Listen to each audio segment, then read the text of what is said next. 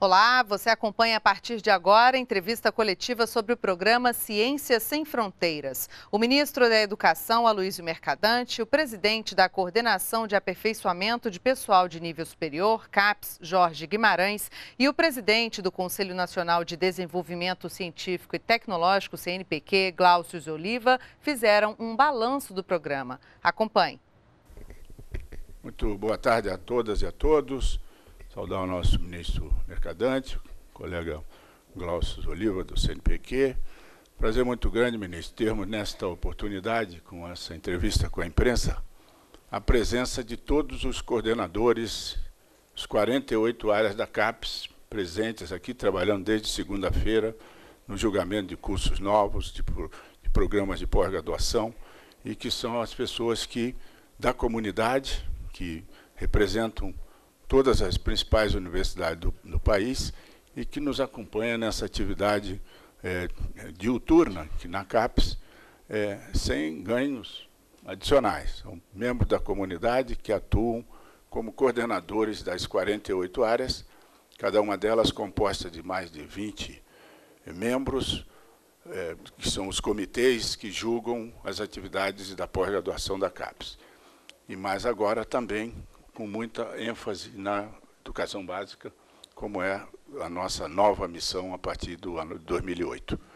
Também temos aqui presentes um grupo de é, visitantes da Fundação von Humboldt, que estão julgando projetos de pesquisadores brasileiros candidatos a programas de treinamento, por, principalmente no nível de pós-doutorado e estágio sênior na Fundação Humboldt. O Brasil tem uma longa tradição de cooperação com, com a Fundação Humboldt, mas uh, durante alguns anos esse número de candidatos caiu muito, e aí fizemos um acordo, ano retrasado, com a Fundação Humboldt, e hoje estão julgando 38 candidaturas, depois de alguns anos sem nenhuma eh, presença maior dessas de, de, vamos dizer, desses candidatos. De modo que é um prazer muito grande, portanto, na presença da, da imprensa, termos a oportunidade, que é claro que foi nada foi planejado, porque estão trabalhando desde segunda-feira nesses programas e aproveitamos para que eles ouçam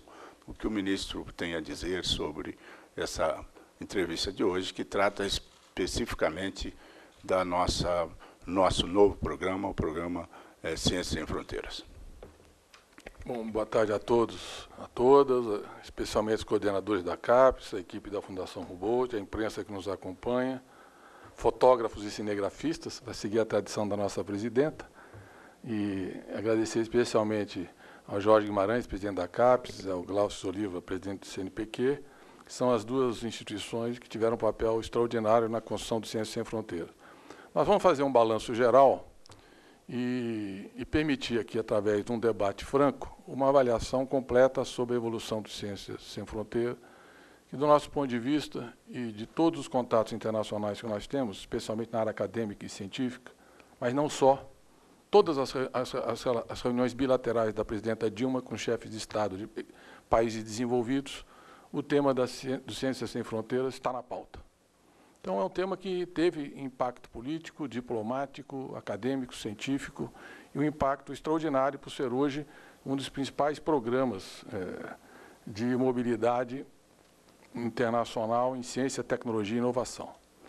Qual é o objetivo do programa? Fornecer 101 mil bolsas de estudo para os nossos mais talentosos estudantes de graduação, pós-graduação, pesquisadores que possam realizar estágios nas melhores universidades do mundo e um ambiente educacional e profissional onde a inovação, empreendedorismo e competitividade já são o padrão. Então, nós queremos promover o avanço da ciência, da tecnologia e da inovação e a competitividade do Brasil. Nós somos um país que tem hoje uma taxa de desemprego em torno de 5%, no mundo em que a crise está gerando desemprego, arroxo salarial, redução de direitos sociais. Portanto, o Brasil, para ganhar competitividade, está buscando outro caminho. Redução de juros, redução do custo da energia, redução de impostos, é, programa de investimento em estrutura e logística, mas nós precisamos melhorar a qualificação da força de trabalho profissional, que é o nosso programa Pronatec, ensino tecnológico e profissionalizante, e nós precisamos é, construir um caminho para o Brasil além de ser já a sexta economia do mundo, sétima, sexta economia do mundo, caminhamos novamente para ser a sexta.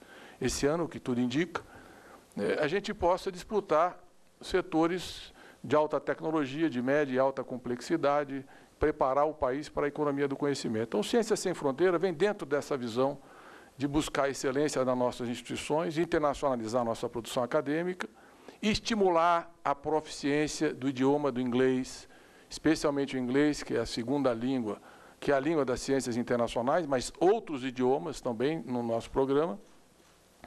E, com isso, eh, formar pesquisadores altamente qualificados. Eu não sei se é necessário voltar a falar disso, mas se a gente olhar para a história do Brasil, nós tivemos grandes exemplos de experiências semelhantes. Nós éramos um país que importava alimento nos anos 60, mandamos mil pesquisadores, na época nós tínhamos 12, 12 cursos de agronomia e 9 de veterinária, mandamos pesquisadores para cursos de... Hoje temos 400 e 300, demos um salto extraordinário, mas mandamos em torno de mil pesquisadores para o exterior, formamos uma, uma liderança intelectual estratégica, uma das conquistas desse processo foi a constituição da Embrapa, que foi uma das instituições fundamentais para o salto que o Brasil deu. Hoje nós somos o terceiro país que mais produz e exporta alimentos no mundo e o país que mais aumentou o excedente exportável de alimentos na última década, graças à ciência e à tecnologia aplicada à agricultura. O exemplo do, do ITA é outro exemplo semelhante. Fomos lá, trouxemos o reitor do ITA, do MIT, sete professores, montamos uma escola de engenharia aeronáutica. Hoje nós temos a terceira indústria aeronáutica do planeta. Então, essas experiências iluminaram a decisão da presidenta Dilma de buscar um programa semelhante, de muito maior alcance, para a gente pensar uma década, um salto de qualidade nas nossas instituições, colocar a agenda da internacionalização, da qualidade, dos principais centros de pesquisa e tecnologia, para que os nossos futuros cientistas, futuros pesquisadores, futuros profissionais possam viver esse ambiente eh, de parceria estratégica. As áreas já são conhecidas. Quais são as áreas? As ciências básicas, matemática, física, química e biologia, as engenharias e as áreas tecnológicas, como ciência da computação e outras. E a ciência da saúde. Então é basicamente isso que constitui. Por quê? Porque esse é o grande desafio tecnológico do Brasil. É aí que nós precisamos dar um salto histórico. Nós demos nos últimos anos um avanço muito importante nas engenharias. Elas passaram o direito pela primeira vez na história. Por exemplo, o FIES hoje, de 800 mil bolsas, 140 mil são nas engenharias. Mas não demos ainda esse salto nas ciências exatas, matemática, física, química e biologia.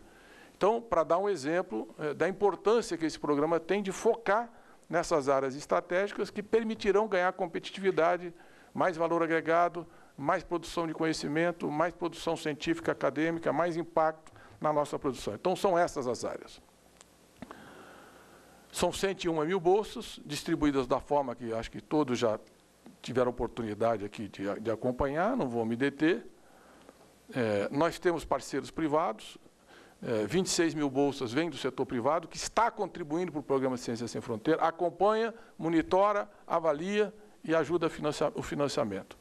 Dois terços é, é, é o governo federal e 25% é o governo, são 25% são as empresas, 75% é o governo federal. Nós temos centenas de empresas parceiras, de grandes empresas internacionais que hoje estão acolhendo é, os nossos estudantes em estágios no exterior. Eles fazem o curso e fazem estágios profissionalizantes em centros de P&D antes de voltarem ao Brasil.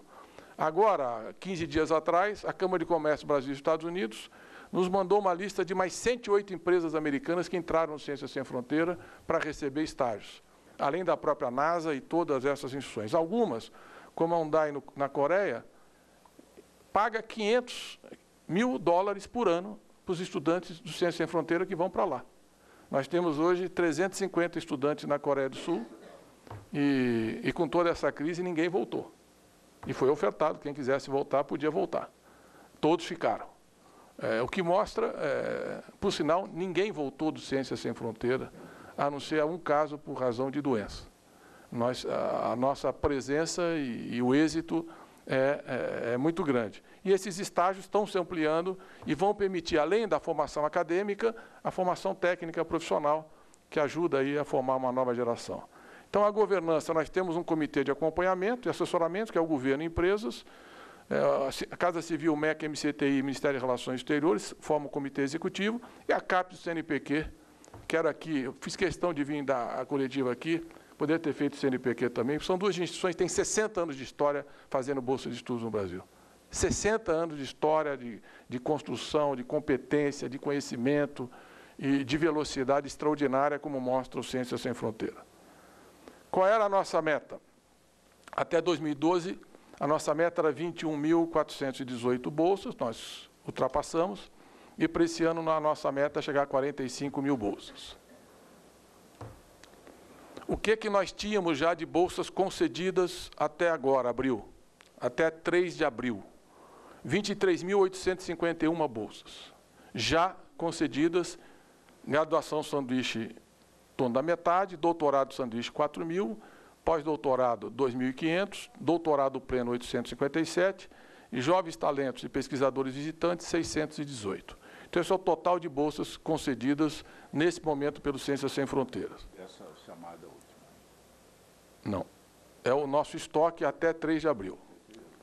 É, por país, Estados Unidos lidera, Portugal, França, Espanha, Canadá, Reino Unido, Alemanha, Austrália, Itália, Holanda, Brasil são os que estão vindo, Bélgica, Coreia do Sul, Suécia, Suíça, Dinamarca e Finlândia. E ainda temos em outros países 239 que são casos isolados, mas que há uma disputa. Por exemplo, quando eu fui com a presidenta na visita ao Papa, sinal muito interessante o, a conversa com o Papa Francisco, é, nós tivemos reuniões bilaterais com a FAO, estamos fazendo um seminário com 19 países africanos agora em maio, e o presidente da, da, da Eslovênia que, que tem um excelente desempenho na área de matemática e ciências exatas, pediu uma reunião bilateral para discutir o Ciências Sem Fronteira que eles querem entrar, como aconteceu com a Hungria recentemente, como tem acontecido, e, e com o presidente da Itália, mesmo na crise que a Itália vivia política, um dos temas prioritários na conversa bilateral era o interesse no Ciências Sem Fronteira. Então, todas as nossas viagens internacionais, esse tema está na pauta, no topo da diplomacia do Brasil. Quais são as áreas? A distribuição é essa: engenharia, biologia, ciências exatas da terra, indústria criativa, computação, produção agrícola, biotecnologia, fármacos, etc. e tal. Dão aí o total de bolsas que nós temos. Qual é o resultado da chamada que nós estamos anunciando hoje? Nós estamos anunciando mais 17.282 bolsas é, que estão sendo concedidas aos estudantes que foram aprovadas. Então, são 15.959 de graduação, 1.323 de pós-graduação, doutorado, sanduíche, pleno e pós-doutorado. Então, nós estamos hoje, em, além daqueles 23 mil, mais 17.282 bolsas. Esse número vai crescer um pouco. Vai crescer porque nós temos alguns editais abertos, que não ainda estão concluídos, que é o edital da China, nós temos já 639 inscritos, da Irlanda, 1.689 inscritos, da Áustria, 126, da Bélgica, 599 e da Finlândia, 304. Então, esses são editais que ainda estão abertos e concluem em maio. Além disso, eh, nós tivemos uma demanda fortíssima para Portugal. E nós tomamos uma decisão necessária nesse momento do programa, nós pretendemos reabrir Portugal para frente, mas qual é a decisão? Nós não concederemos nesse edital bolsa para Portugal. Para estimular os alunos na proficiência da segunda língua. Eles têm que enfrentar o desafio da segunda língua. O programa tem este, esta dimensão como uma dimensão estratégica. Então, todos os estudantes que têm um excelente desempenho e que pretendiam ir para Portugal foram convidados a migrar para outros países. A ampla maioria aceitou. Nós temos ainda 600 que poderão aceitar, tem uma excelente pontuação, esperamos que eles aceitem. Então, nós trabalharemos esses 600, mais esses editais que ainda estão abertos, eles foram aprovados, mas não, tão, não têm bolsas concedidas. Nós vamos trabalhar para ver se. Agora, o espaço é fundamentalmente Estados Unidos, que nós queremos fomentar, que nós temos espaço para preencher as bolsas. Então, nós estamos falando aí a possibilidade de aumentar ainda em 3.970 bolsas a serem concedidas. Portanto, nós vamos, pro, provavelmente, pode ter alguma frustração nesse processo, mas entre é, 17.282 e, e 20 e, 20 mil, 21 mil bolsas é o que, que poderão ser aprovadas nesse edital que nós estamos é, concluindo. Então, esses são os países que já estão concluídos, aqueles estão abertos, incluindo Portugal, que é o único da lista originária, que temos ainda um resíduo de 600. Então, nós temos hoje quantas bolsas concedidas pelo Ciência Sem Fronteira? 41.133. Além dessas outras 4 mil e poucas que estão em, em processo, e nós teremos ainda o edital de fluxo contínuo para pós-graduação até o final do ano e teremos outra chamada no segundo semestre. Portanto, se eu só deixar uma coisa bem clara, o problema do Ciência Sem Fronteira não é atingir meta, as metas programadas. O nosso problema é orçamento para cumprir as metas e qualidade ao preencher as metas. Não é preencher meta. Isso não, a demanda é fortíssima, o potencial dos estudantes é fantástico e seguramente nós cumpriremos todas as metas programadas. Estamos cumprindo e cumpriremos. Esse ano nós estamos em abril, praticamente já cumprimos a meta do ano. E nós vamos ampliar, seguramente vamos superar a meta este ano, pelo, porque nós temos vários calendários e vários editais que são de fluxo contínuo e teremos o segundo edital no segundo semestre. Qual foi, o que, é que nós identificamos? Identificamos excelentes alunos, excelentes alunos, especialmente alunos da rede pública, seguramente alunos de baixa renda, que foram muito bem no Enem, com notas espetaculares, mas que não têm o domínio da língua. Nunca puderam viajar para o país, nunca puderam fazer um curso específico de línguas, e nós não vamos deixá-los para trás. Esse programa veio para fazer a inclusão de quem tem talento, não é de quem só tem renda, como sempre foi na história do Brasil é para todos. E por isso a língua não será um obstáculo que não possa ser ultrapassado. Ele existe. O objetivo do programa é avançar. Por isso nós estamos tomando a medida este ano, temporária, transitória. Todos terão que desenvolver uma segunda, um segundo idioma. Para ficar bem claro que essa é uma meta do programa. Então nós contratamos no, no, na, com a Sangage, que é um dos melhores cursos interativos de inglês disponível no planeta, 2 milhões de senhas. E, por favor, é, não tem problema no site do MEC nem do, da CAP CNPq. O problema de instabilidade do site é, um, é um portal mundial. A instabilidade é que na hora que nós abrimos o Ciências Sem Fronteira, inundou o portal. E foi tanta gente que entrou que deu uma instabilidade temporária. O segundo problema no, no, no, no idioma é que ele se inscreve e, o, e a entrega da senha depende de ele estar preenchendo as condições exigidas. Quais são as condições? Tem que ser um aluno de universidade pública, federal ou não federal, e ele tem que ter tirado mais de 600 pontos no Enem. Até que se certifique, aí ele tem a ceia definitiva do programa. Além disso, nós estamos fazendo 500 mil testes do TOEFL, para avaliar a proficiência no inglês, para ver quem é que está mais próximo da proficiência e estimular os estudantes a, a, a ganharem as condições de poder acessar os cursos. E estamos com 45 universidades trabalhando 20 mil vagas de curso presencial, implantando, porque tem que instalar sala de, de cursos, enfim, tem um ritmo, contratar professores, etc., para a gente poder fazer também é, esse ensino presencial que vai ajudar a dar suporte ao esforço que nós estamos fazendo. O Ciência Sem Fronteira aumentou em 20% a demanda por cursos de idioma no Brasil. 20%. Fora esse esforço que nós estamos fazendo. E vamos fazer programas semelhantes para o espanhol, para o francês, para o alemão. Nós estamos estimulando também para o mandarim. Nós estamos ampliando outros idiomas com foco no inglês, porque é a maior oferta de bolsa. Então, hoje nós temos 320 mil inscritos nesse nosso portal e já concedemos 257 mil senhas. Esse resíduo é quem se inscreve e depois, é, de reconhecido o direito à titularidade, é, o reconhecimento da senha. Nós estamos também vendo que tem muita demanda de professor querendo fazer.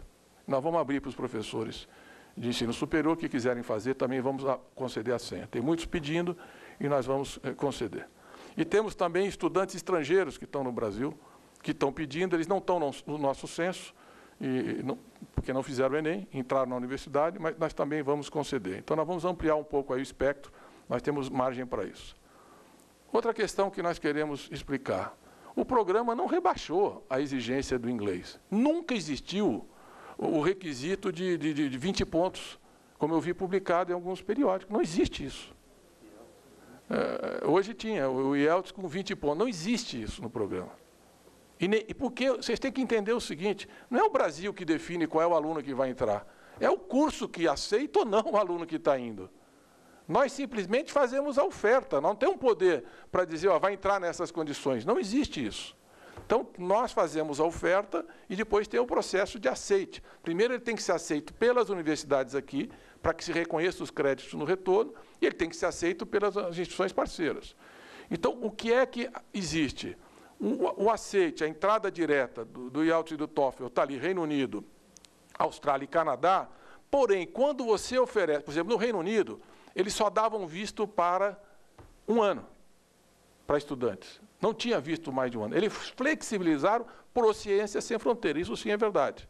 Agora, o que é que eles consideram para conceder o visto? O TOEFL e o ELTS naquela, naquela pontuação, desde que tenha seis meses de curso de inglês preparatório para o processo de, de ingresso pleno. Ele, de qualquer forma, vai ter que atingir, atingir o nível de proficiência para fazer o curso. Agora, como nós temos certo pessimismo de plantão no país, eu tenho uma má notícia para os pessimistas. Nenhum aluno voltou para o problema de idioma. Nenhum aluno voltou. Nenhum teve problema de desempenho por problema de idioma. Eles são talentosos. Eles só não tiveram oportunidade. E nós vamos dar as oportunidades. Nós vamos criar todos os instrumentos e acreditamos que eles terão um salto extraordinário com essas possibilidades que o Estado brasileiro e o governo brasileiro, os empresários, enfim, a sociedade brasileira estão dando para esses alunos. Depois, eu quero também dizer que não há possibilidade de ter dupla contagem no Ciências Sem Fronteira.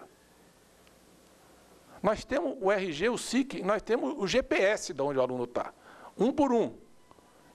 Onde eles estão no mundo, quantos alunos tem, estão lá na Califórnia, eh, quais são, ah, quantos estudantes, temos 103, qual é a graduação, qual é a fotografia dele, qual é o nome, qual é a área, qual é a pontuação, o que, que ela está fazendo, quando ela foi, quando ela volta. Nós temos uma gestão CPF por CPF, GPS por GPS, RG por RG. Imagina a responsabilidade de botar 20 mil estudantes no exterior, agora vão para mais de 40 mil, a responsabilidade que nós temos com os pais, com o Estado, com a sociedade brasileira. Então a gestão desse sistema é extremamente sofisticada. Nós temos um painel de controle, então, embarcados daqueles 23 mil, que já estão no exterior, 19.601 bolsas concedidas 23 mil, 19.601 já embarcaram. Então tem lá doutorado, doutorado pleno, doutorado no exterior, outros, enfim, graduação sanduíche, como é que o programa evolui. A gente tem um, todas as áreas, por cada modalidade, quais são as nossas, todas as 20 áreas, quantos estudantes nós temos em cada área, como é que está distribuído, como é que é distribuída pelo, a distribuição por países, a distribuição pelas áreas prioritárias, que é o nosso esforço especial. Nós temos no painel do controle, é, por região do Brasil, quem foi, da, da onde sai para onde vai. Então, é, nós fizemos também outro tema, o pagamento. Vocês imaginam passar da escala que nós tínhamos para a escala que nós estamos, que é um salto quântico. Nós tínhamos um sistema de pagamento do Banco do Brasil que tinha um problema. Por quê? Porque o Banco do Brasil não tem agência em todos os países, em todas as cidades. Então ele tinha um tempo para transferir os recursos da agência do Banco do Brasil para os bancos parceiros que iam fazer o pagamento. E isso criava algum ruído. Então, o que é que nós fizemos? Nós, todos os alunos saem daqui agora com cartão de crédito. Ciência Sem Fronteira. É, cartão de crédito e débito. Um cartão de crédito como qualquer outro, cartão de crédito e débito. Ele sai com o crédito e o crédito é depositado direto no cartão. Ele pode fazer isso em qualquer estabelecimento comercial, qualquer agência bancária, enfim. Deu uma mobilidade, deu uma segurança muito grande e nós tivemos que implantar esse novo sistema, porque antes não, não havia. E nós, é, em algumas cidades do mundo, nós identificamos que o custo de vida estava alto, nós precisamos fazer um plus, fizemos. Também tivemos uma certa dificuldade de implantar, identificar no GPS quem é que tinha direito e poder fazer os pagamentos. Nós criamos um instrumento para a volta, além da avaliação que os estudantes eh, recebem, são encaminhados para as universidades, nós temos um portal de estágios e empregos. Os estudantes e as empresas se inscrevem, eh, tem uma série de questionários para ele. Aqui nós não abrimos aqui o portal, mas eu posso abrir para vocês depois. Tem uma série de questionários que eles preenchem, as empresas preenchem, tem uma sala de conferência no portal, eles podem discutir para fazer uma, uma audiência é, entre quem está contratando e a possibilidade de estágio. Então, nós estamos buscando agrupar essa comunidade e oferecer oportunidades. Só aceitamos estágio em PID, Pesquisa e Desenvolvimento. Só pode, só, só patrocinamos estágio para quem vai continuar a trabalhar no setor de pesquisa, desenvolvimento e inovação. Então, nós temos hoje, abrimos o portal agora, recentemente, hein? É, uma semana também para os céticos, nós temos uma média diária de 4.500 inscritos. Bolsistas cadastrados já 3.410. Então, em uma semana, há um, um, grande interesse nesse portal, as empresas também estão aderindo. A, a, a, médio prazo, nós vamos ter, eu acho, uma boa interatividade entre os bolsistas que chegam e as oportunidades de emprego que se criam, porque as empresas sabem os talentos que nós estamos formando. Nós temos alguns exemplos de sucesso. Por exemplo, nós, nós temos centenas de, de, exemplos de sucesso. Depois, se quiser, a gente pode ir mandando uma lista para quem tiver. Aí, para os otimistas. Nós temos várias, vários bons exemplos, prêmios especiais que os estudantes ganharam, reconhecimento internacional. Então, nós selecionamos um ou outro aqui para vocês terem um, uma ideia é, de, de coisas bem interessantes. E estamos também incrementando muito a vinda de eh, pesquisadores sêniores do exterior esse é o Kurt Wuttrich, que é prêmio Nobel é, de Química e que começa agora, já foi apresentado dia 26, já começa as suas atividades plenas no Brasil, na UFRJ, no Rio de Janeiro. E como ele, tem outros grandes nomes de excelência, pesquisadores de alto nível que estão vindo trabalhar no Brasil e também jovens talentos doutores que estão vindo para o Brasil. Então, nós é, estamos muito seguros de alcançar as metas, Estamos tendo todo o cuidado de fazer isso da forma mais cuidadosa possível. Eu queria também fazer um outro esclarecimento de temas que nos chamaram a atenção. É, e dizer o seguinte: é importante quando a imprensa aponta problemas que não permite corrigir, nós estamos totalmente abertos. Esse diálogo é importante. Olha, tem um problema aqui, a gente corre atrás, tenta ver o que é. Mas tem que ter um diálogo, vocês têm que pelo menos dar espaço para que a gente fale. Porque às vezes não tem acontecido isso. Por exemplo, em relação à Espanha, a parceria que foi feita com a Espanha, com a, a Fundação Universitar, é uma espécie de, de, de, fundação das universidades espanholas, fundação pública.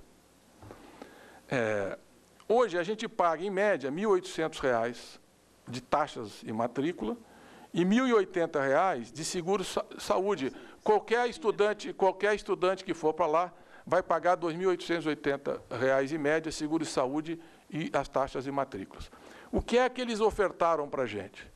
Um seguro saúde coletiva para qualquer estudante que vá do Brasil por 420 reais.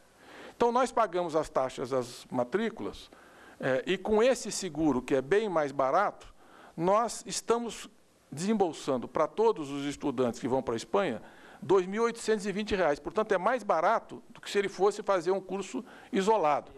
É, desculpe, euros. Agora, o que, que ela, ela oferece além disso? Ela oferece toda a pesquisa para a colocação dos estudantes, ela, ela, tem um site especial, um portal especial para atender só o Ciências Sem Fronteiras. Os alunos daqui já podem escolher três cursos. Eles fazem toda a burocracia para o visto de entrada na Espanha, para o visto de, de, de, turista, de estudante. Eles, é, esse bônus do que eles conseguiram no seguro paga todos os serviços, eles fazem todos os pagamentos para todas as universidades, que é um custo que nós temos em muitos países. Eles centralizam, a gente faz uma remessa só, portanto, nós não temos as tarifas bancárias e todo o custo administrativo dessas operações, e eles acompanham junto com as universidades todos os estudantes para qualquer emergência urgência que a gente solicite. Então, é uma parceria muito interessante que economiza recursos, ao contrário do que está sendo dito. Economia, pagamos menos do que pagaríamos se nós não fizéssemos essa parceria e podemos oferecer um serviço com mais qualidade. Então, eu quero aqui, publicamente, agradecer ao Jorge, ao Glácio, a todos os servidores da CAP CNPq pelo extraordinário trabalho que nós temos feito. Todas as, emba as embaixadas do Brasil e consulados, onde nós temos estudantes de Ciências Sem Fronteira, o Itamaraty hoje tem um servidor destacado para cuidar do programa e tem nos ajudado muito, especialmente quando há alguma dificuldade. Por exemplo, no caso da Coreia, nós precisávamos de informações a oferecer para os pais o que estava acontecendo, a embaixada brasileira, junto com outras embaixadas, qual é o plano de acompanhamento, as medidas estão sendo tomadas, informações. Agora, todo... em, Boston, em, Boston, agora. em Boston, por exemplo, agora. É incrível porque Boston ninguém falou. É. Ninguém falou. Acho que o problema da Coreia, que era muito mais. Porque eu não imagino que ninguém possa querer soltar uma bomba no país vizinho, né? Falar tal, aquela coisa, mas não, não era uma coisa mais midiática propriamente do que um risco. Mas, de qualquer forma, se há risco, nós temos que gerenciar o risco, acompanhar e ter toda a segurança dos nossos estudantes. A responsabilidade é muito grande. Então, o Itamaraty monitorava dia a dia e a gente mantinha todos os familiares informados. No caso de Boston, que é uma comunidade muito grande ali, de muitas universidades, uma comunidade brasileira muito grande, nós mantivemos imediatamente todas as informações disponíveis. E, e, o, o, tanto na Coreia como lá, os estudantes foram mobilizados, orientados, quais são as providências que têm que ser tomadas. Então, há uma estrutura muito competente e muito eh, cuidadosa. Por último, não existe, na pós-graduação, uma única porta de entrada para Ciências Sem Fronteiras. É um equívoco isso. Existem vários programas. E na graduação, nós temos algumas parcerias que são com a França, o Brafitex, o Bagecrim com a Alemanha, o FIPS com os Estados Unidos e outros, que são parcerias muito antigas de programas que nós tínhamos em andamento.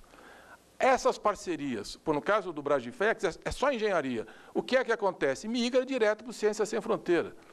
Então, não para melhorar a estatística do Ciência Sem Fronteira, porque é um programa que, como é uma relação bilateral de anos, nós queremos manter essa parceria. Agora, os estudantes querem ir para o Ciência Sem Fronteira por quê? Porque as condições do Ciência Sem Fronteira são melhores que as demais. As exigências são as mesmas. As exigências acadêmicas são as mesmas, mas as condições são melhores. Por exemplo, tem verba para comprar um laptop, que nos outros programas não tem, tem acesso ao curso de idioma, se precisar, que os outros programas não têm. Então, há uma demanda nesse sentido. E nos interessa essa migração, quando é compatível com o programa, por quê?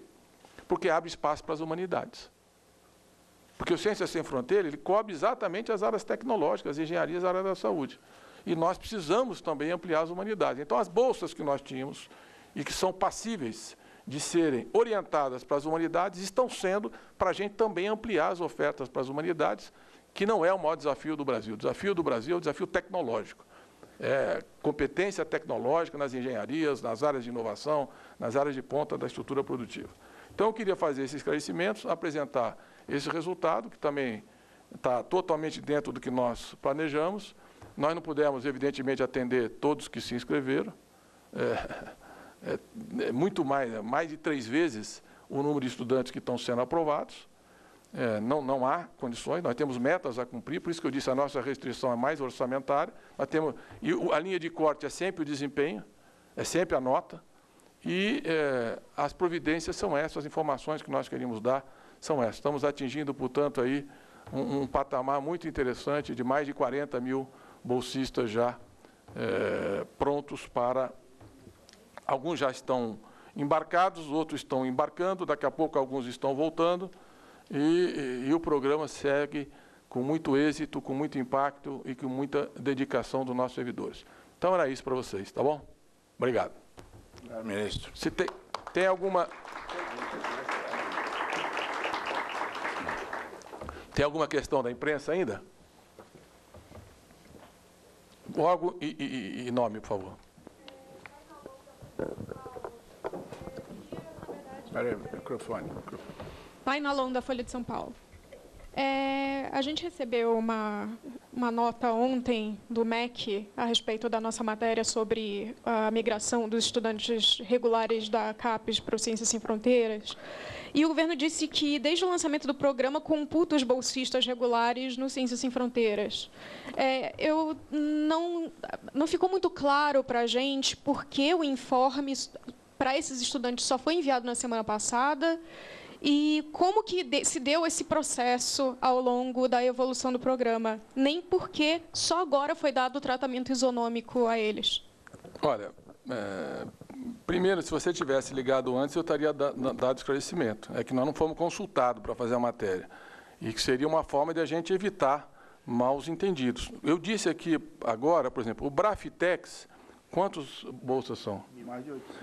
São entre 800 mil bolsas. É, é feito desde o início do programa Migração, é um curso de engenharia na França.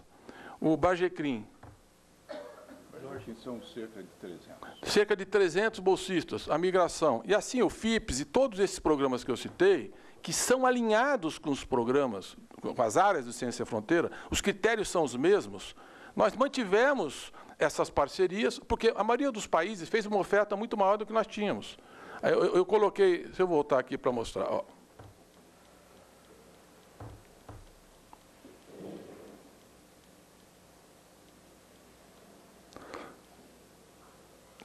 Ah, eu não pus aqui, nós não pusemos aqui a bolsa, as ofertas dos países, né? Não, não está aí. Não está aí, mas eh, eh, traz para mim, Gordo, por favor. Nós temos, mas sei lá, Estados Unidos são 5.600. O que nós tínhamos no FIPS antes era muito menos do que isso. Eram 300 bolsas de parceria. Aumentou muito a oferta, mas nós mantivemos os programas tradicionais, que já tinham uma história, mantivemos esse programa, essa parceria com instituições parceiras e partimos para essa ampliação. Então, esses programas são automaticamente incorporados no Ciências Sem Fronteiras. No pós-doutorado, como havia demanda, inclusive alguns cobrando a entrada do Ciências Sem Fronteiras, que queriam migrar para o Ciência Sem Fronteira, porque a marca do Ciência Sem Fronteira é uma marca muito forte hoje, muito bem recebida dentro e fora do país, foram informados que eles tinham direito, sim. Se eles estavam dentro daquelas áreas, cada um foi identificado, comunicado e foi falado, ah, vocês estão dentro do Ciência Sem Fronteira, que são, eram quantos? quantos? 60. 60. Agora, daí dizer que nós estamos manipulando dados, não, nós estamos falando de 40, mais de 40 mil, gente. Agora, dizer que isso é manipulação de, de, de, informações, só isso que eu peço, né? que a gente discuta com transparência as coisas, que a imprensa cobre, mas que permita um diálogo construtivo com as informações, pode criticar à vontade, mas que a gente possa ter a chance de, de oferecer as informações corretas. Então, eh, esses estudantes de pós-doutorado foram informados. E no caso desses programas tradicionais, todos migraram para o Ciência Sem Fronteira. Não faz sentido eu ter dois programas concorrentes nessas áreas. Os programas que não migram para o Ciências Sem Fronteiras é porque são, por exemplo, das áreas das humanidades. Aí são bolsas. Nós estamos, inclusive, tentando criar um conceito próprio para a área das humanidades, para organizar melhor esse campo das humanidades. Mas uh, todos aqueles que são, os critérios são os mesmos de acesso. As exigências são as mesmas, as instituições são as mesmas. Eles são ciências sem fronteiras. E por que, que eles querem ciência sem fronteiras? Tem direito a curso de idioma, se necessitar tem direito a comprar o computador, tem apoio pedagógico e tem todas essas outras condições que nós estamos mencionando. Então, há um interesse de imigração para o Ciências Sem Fronteiras. E nós estamos informando sempre, e, e pós-graduação é fluxo contínuo. Não é uma data. O que eu acabei agora de informar, ah, daqui a pouco é outra coisa, porque os comitês estão aprovando, enfim. São, a, o orientador entra em contato com o orientador, a instituição com a instituição. É um processo de seleção diferente da graduação. A graduação que é o edital mais é, específico. Só por isso. Mas não há, não há risco de ter dupla contagem. É só olhar o portal, ali tem o GPS do estudante, tem todos aqueles dados que nós mostramos para todos os estudantes que tem no, no exterior. E nós temos aquele portal de monitoramento. Ministro Natália, da Band News FM, queria que o senhor só esclarecesse aqui que eu não entendi direito os prazos. São 40 mil estudantes que já foram contemplados até hoje. Quantos que vão ser contemplados até o final do ano, até o final do ano que vem? Queria que o senhor falasse. Não, a meta, a meta é esta aqui. Para 2013, a meta é 45 mil. Né? Sempre nós estamos trabalhando acumulado desde o início do programa. É chegarmos até o final desse ano com 45 mil bolsistas. Aonde nós estamos hoje? 41.133. Eu disse para vocês, além desses 41.133, nós temos 3.970 que são editais que não estão ainda sendo anunciados, vai até maio, como é o caso da China, Irlanda, Bélgica, Finlândia e Áustria. Tá? China, Irlanda, Áustria, Bélgica e Finlândia e aquele resíduo de excelentes alunos que tinham entrado no edital de Portugal, e esse ano nós estamos falando, ó, todo mundo vai ter que fazer uma segunda língua para ficar bem claro que eles têm que fazer. Os estudantes que querem entrar no Ciência Fronteira têm que ter um segundo idioma. Nós queremos estimular a proficiência do segundo idioma. Então, nós temos aí, hoje, em torno de potencial de 45 mil bolsas, porque esses 3.970 estão inscritos, mas não foram selecionados. Uma parte deles será selecionada. Então, nós devemos ter mais de 41 mil uh, bolsistas no acumulado. Vamos ter mais de 17.282. Eu não posso te dizer exatamente quando. Além disso, a pós-graduação é fluxo contínuo. A vinda de professores sêniores professor, e, e pesquisadores e professores doutores, jovens talentos, também é fluxo contínuo. Então, esse, número vai crescer. E nós deveremos ter um segundo edital ainda no final do ano, que já começa a preparar 2014 e fecha 2013. Então, a meta deste ano será com muita margem cumprida.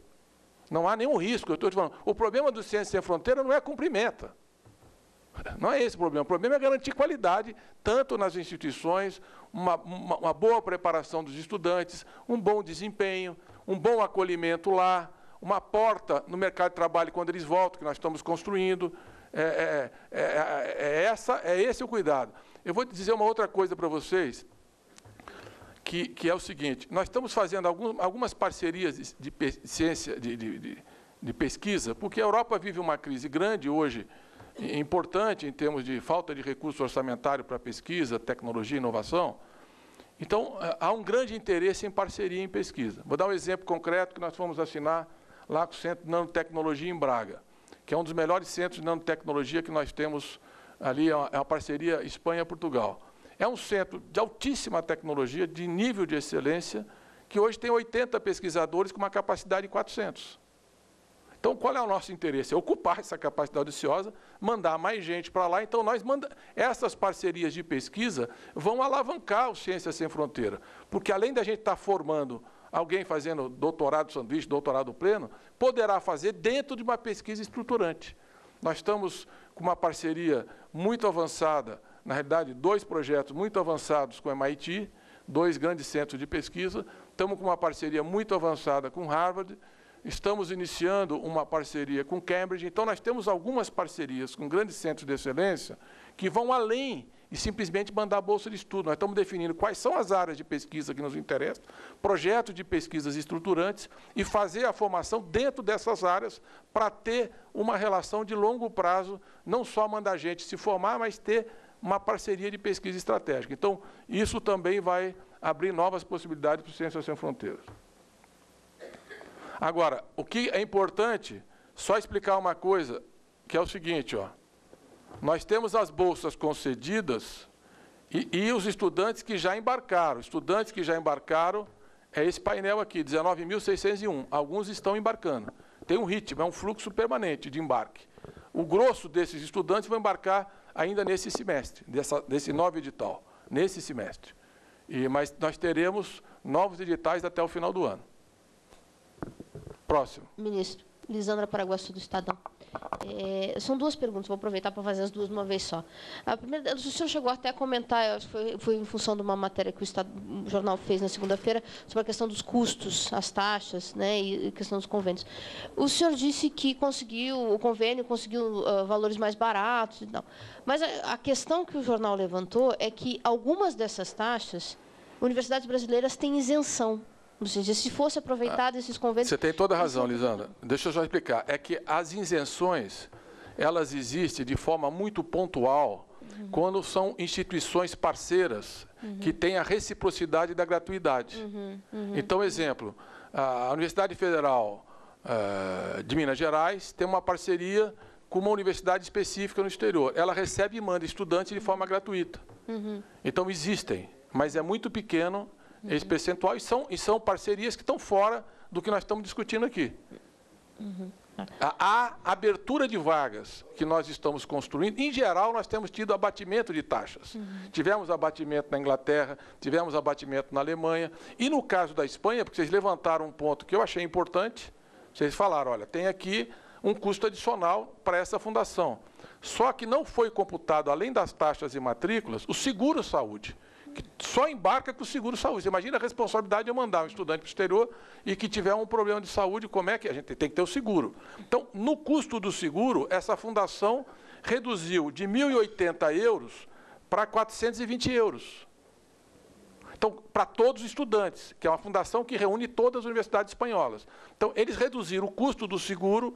Esse, essa redução de custo Além disso, eles ofereceram todos aqueles serviços que eu falei. Eles fazem a colocação à pesquisa, eles fazem o visto de entrada, eles é, fazem o acompanhamento de todos esses estudantes, têm o portal e fazem toda a gestão administrativa do programa. A gente não precisa ficar pagando aluno por aluno, universidade por universidade. Eles fazem toda a gestão administrativa e financeira. E, além disso, no, no cômputo final, o valor é menor do que nós pagaríamos se não tivesse essa parceria além do fato que é uma parceria que reúne as, as principais universidades espanholas.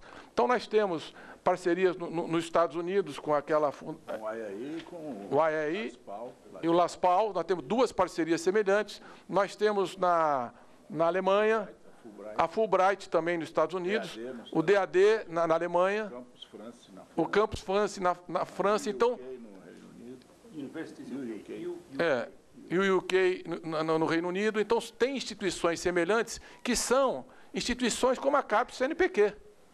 Hoje nós estamos aqui discutindo com uma, que é a Fundação Humboldt, que é um programa de bolsa de estudo que nós construímos junto com eles, é uma fundação de grande excelência internacional, reconhecidamente internacional. Então, nós temos essas parcerias que são, porque, vou explicar, nós selecionamos nossos estudantes, mas eles têm que ser aceitos lá. Uhum. Esse processo de aceitação, de encaminhamento, de monitoramento e também de gestão dos estudantes quando estão no exterior, essas instituições parceiras fazem conosco. Elas ajudam a reduzir custo e melhorar a qualidade do atendimento. Esse é o objetivo. Uhum. Ministro, a outra pergunta era é uma questão, na verdade, meio um pouco recorrente, que alguns estudantes brasileiros estão sendo enviados para instituições estrangeiras que têm uma produção acadêmica é, inferior a, a, a, instituições brasileiras. E na pergunta, por que, que não se tenta se concentrar em instituições americanas, asiáticas, europeias mesmo, que sejam reconhecidamente melhores que, que as instituições brasileiras, ou que têm pelo menos uma produção acadêmica tão boa quanto as melhores do Brasil? Não, você tem toda a razão. O foco do programa é esse, é melhorar, é, é focar nas principais instituições. Às vezes, você tem é que uma universidade é, não tem o destaque relevante num ranking, mas um curso específico tem. E nós vamos atrás desses cursos. Agora, em geral, são as universidades de excelência. A forma de nós ampliar, vou dar um exemplo, então, para. Eu não sei exatamente os dados, então não escreva, mas eu, depois eu checo e mando para vocês.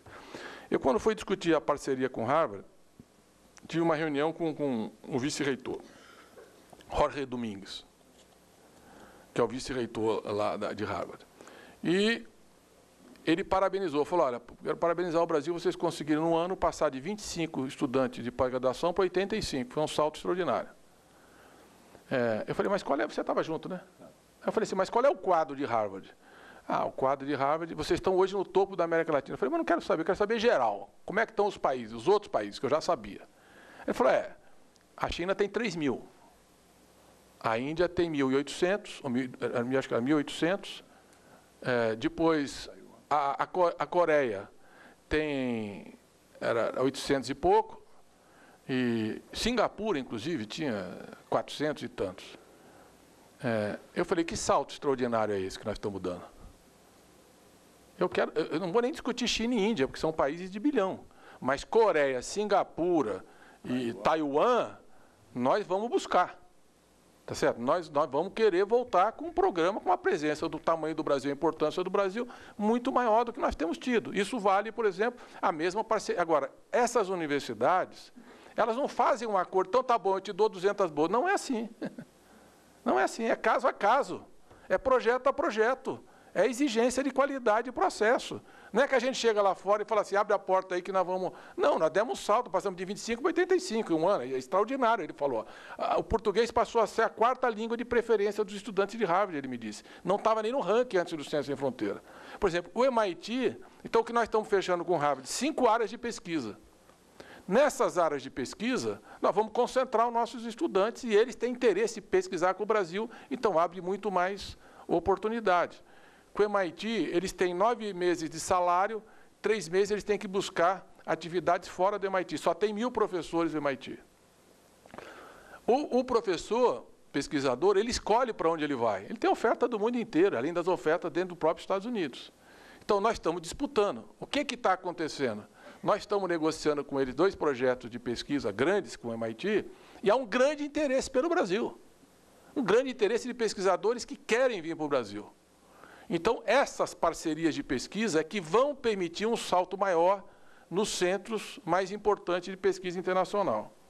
É, e, e, e, no caso do Brasil, é, nós temos que também ver, se você pegar, por exemplo, o, no caso do Brasil, as universidades que têm o melhor padrão de ranqueamento, como a USP, são os estudantes que têm, são as universidades que têm o maior número de estudantes sem fronteira no, no exterior. Também daqui para lá. Às vezes não acontece isso, às vezes você tem uma instituição, tem um, um sujeito de excelência, mas em geral o ranking daqui também se expressa no peso relativo das, do, do, dos estudantes que vão. Mas nós estamos sempre trabalhando, Lisandra, buscando a excelência. E estamos construindo um caminho para cada vez ter mais estudantes nos setores, de, principalmente a nível de pós-graduação. Mariana, da Agência Brasil. São duas questões que eu queria até esclarecer, ver se eu entendi errado. Primeiro, o edital de Portugal, então a gente não vai ter gente indo para Portugal esse semestre ou esse e, ano? Não, esse semestre. Esse, esse semestre. edital específico. Ah, entendi. Porque eu lembro que a CAPES... De graduação. De graduação. De graduação. Primeiro que nós já tínhamos um número relativamente alto, 2.900. Uhum. É, segundo, porque a demanda foi impressionante. Uhum. E o que, que nós identificamos? Eles encontraram um caminho para não enfrentar o obstáculo da língua. Se nós quisermos que esses estudantes sejam realmente estudantes de ponta, voltem com uma cultura, com uma bagagem, com um salto, eles têm que enfrentar o problema do idioma. Então, nós estamos suspendendo temporariamente e dizendo para os que tinham pontuação de excelência, dizendo o seguinte, faça opção por um desses outros países que você pode ir. E eles estão fazendo, migrar em massa. Restam 600 alunos de altíssima, de grande avaliação, de altíssimo nível, que não migraram, eles estão insistindo em Portugal. E eles terão que migrar também, não vai Ou não irão. Ou não irão. Agora. Ok. Temporariamente, nós estamos tomando essa medida para deixar claro que mais, se o objetivo é o domínio da língua, porque ele é um ano e meio lá fora, o, o, o HD deles não está que nem o nosso aqui da mesa, está zeradinho, né? É zerado. Eles aprendem muito rápido, ninguém voltou para o problema de língua, todos se desdobraram e eles voltam com uma bagagem a mais que é o domínio de um idioma que vai ser fundamental profissionalmente, cientificamente. Um dos problemas da produção científica do Brasil, nós somos o 13º país que mais produz cientificamente no mundo hoje, a nossa produção cresceu em, nas publicações indexadas extraordinariamente nos últimos anos, o impacto é baixo, um dos problemas do impacto é o idioma. Nós temos que escrever em outros idiomas, nós temos que disputar a, a, a, produção científica acadêmica e formar profissionais no mundo globalizado que dominem uma segunda ou uma terceira língua. Então, nós estamos forçando mesmo eles a enfrentarem o obstáculo da língua. E aqueles que têm condições, são excelentes alunos e não estão prontos, se precisar, vão fazer o estágio na língua. E aí, a aceitação é só nesta condição que há uma redução da exigência no TOEFL ou no IELTS, nos dois, há uma redução da exigência porque está considerando seis meses de curso da língua. Está claro? Não tem como eu chegar e falar, você vai entrar em Cambridge sem ter feito o, o, o, a exigência do, do, exame, que é aquela exigência, eu mostrei a, a tabelinha aqui. O Glaucio já sabe de cor, porque ele estudou lá. Então ele está soprando aqui, mas eu não sei decor. Passou. Ali, ó. É 5.5 ele tem que tirar a, a, cinco, a, de 5.5 para cima, senão não entra. E, e, o TOEFL ele tem que tirar 72, senão não entra. Agora, se ele tiver seis meses de inglês, eles aceitam com 42 pontos. Tá claro? Então ele vai fazer o inglês e depois vai fazer o curso pleno. Não é que ele vai fazer o curso entrando no curso com 42 pontos. Não existe isso, gente. Não somos nós que definimos a barreira, é, é institucional é a universidade lá. Questão, ministro, é essa migração de, de estudantes para Ciências Sem Fronteiras. Se eu entendi direito, é, estudantes de humanidades também estão migrando e podem migrar? Não. Nenhum. Não, por isso é que é bom perguntar programa. É, antes, é para a gente poder chegar no acordo depois. Isso. Só podem. O problema é o seguinte: não existe uma única porta de entrada na pós-graduação. São quatro portas, cinco portas Glaucio, escreve as portas. São cinco, são cinco portas de entrada na pós-graduação. Para vocês entenderem. Não é que é o seguinte, o sujeito entra no Ciência Fronteira. Tem cinco portas para entrar. É que eu falo? É, explica aí. Olha, há umas cinco décadas, o CNPq e a CAPES têm chamadas anuais para bolsas especiais chamadas bolsas no exterior. Doutorado sanduíche, doutorado pleno, pós-doutorado no exterior. Tipicamente, três entradas todos os anos. Isso é o que a imprensa chamou de chamadas regulares. Regulares porque elas já vinham acontecendo há cinco décadas dentro do CNPq e da CAPES. Com o lançamento do programa Ciência Sem Fronteiras, adicionalmente a estas chamadas regulares, que são para todas as áreas do conhecimento, as inscrições são feitas e cada, cada um dos 48 comitês de assessoramento julgam as suas. Paralelamente a elas, nós, quando lançamos o programa Ciência Sem Fronteiras, temos as três chamadas para pós-graduação no exterior, doutorado sanduíche, doutorado pleno, doutorado é, pós-doutorado, no Ciências Sem Fronteiras. Além disso, nós temos as chamadas específicas no âmbito do Ciências Sem Fronteiras a partir de acordos que foram sendo feitos. Por exemplo, fizemos acordo com algumas empresas, GlaxoSmithKline, na área farmacêutica, pesquisa de novos fármacos grupos de pesquisa lá, alunos que queiram ir fazer parte do seu doutorado nesses grupos. Mesma coisa Structural Genomics Consortium, mesma coisa o NIH, National Institutes of Health, fizemos uma chamada especial com eles, para doutorado e pós-doutorado. CDC, Center for Disease Control, é, do, dos Estados Unidos, mesma coisa, e assim por diante. Então, essa é uma outra porta. Terceira. A quarta, cotas de bolsas de doutorado sanduíche que são atribuídas aos programas de pós-graduação é, nas áreas aderentes ao Ciência Sem Fronteiras. A CAPES, já há dezenas de anos, deixa algumas bolsas de doutorado sanduíche à disposição dos programas bem avaliados. E lá os alunos são selecionados mediante chamadas internas. Uma vez aprovados, são inscritos nos nossos sites e homologados pelas agências mediante os mesmos critérios de excelência que são adotados nas chamadas tradicionais. Além disso, é, com o início do programa Ciência Sem Fronteiras, nós pegamos os INCTs, os Institutos Nacionais de Ciência e Tecnologia, ultra avaliados pelo CNPq, e demos algumas bolsas de doutorado sanduíche, doutorado pleno e pós-doutorado. Os INCTs selecionam entre os seus alunos, submetem ao CNPq, que homologa mediante avaliação da aderência pelos critérios. E, finalmente, os programas de estímulo às áreas prioritárias com demanda deficiente, eu destaco três, a área de defesa, a área espacial e a área nuclear, que tem tido pouca demanda espontânea para pós-graduação e que nós fizemos acordo com as instituições relacionadas a essas áreas que estão proativamente buscando os estudantes do Brasil, as melhores instituições nessas áreas no exterior para fazer o casamento e colocação desses estudantes. Deixa eu explicar. Então, por exemplo, você viu que precisa de pós-doutorado para entender a porta de entrada, né? São, é, são seis portas. Então, quando ele entra nesse programa, ele vê lá um estímulo para ele fazer pós-doutorado ou doutorado é, em energia nuclear. Ele vai ser canalizado para o Ciência Sem Fronteira, ele faz parte do programa Ciência Sem Fronteira, mas a porta é específica, são convênios e, e, e editais específicos. Agora, as humanidades não entram no Ciência Sem Fronteiras. Por que, que nós queremos que esses programas específicos e programas pré-existentes, que nós queremos manter a série histórica, migrem para o Ciência Sem Fronteira? Primeiro, porque as exigências são as mesmas, os critérios são os mesmos de acesso. Mas o Ciência Sem Fronteira, como 25% do programa é, é, pago pela iniciativa privada e é um governo extra-orçamento CAP-CNPq, no, nos permite liberar o orçamento que nós tínhamos para bolsas para fortalecer as humanidades. Está claro? Não faz sentido eu ter o Ciência Sem Fronteira e ter um programa paralelo que faz exatamente o que Ciência Sem Fronteira faz. Por quê? Porque eu estou tirando, porque antes era, existia esse programa.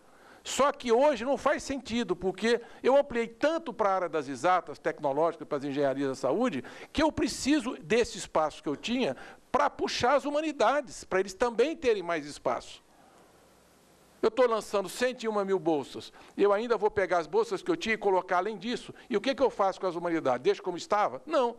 Se eu estou criando um programa de tão envergadura nessas áreas, eu migro para esses, todos os estudantes que estão dentro dos critérios, com as mesmas exigências, e eles querem ir, porque a marca é forte, porque tem direito a comprar um laptop, etc. e tal, e, todo, e tem estágio, tudo isso mais acontecendo, e com isso eu abro espaço para as humanidades. Só por isso. Não faz maquiagem. Não tem, não tem maquiagem de dado, não tem dupla contagem, isso não existe. É simples. Se, se quiser, eu dou o RG, o SIC e o CPF, está lá, de cada um dos estudantes.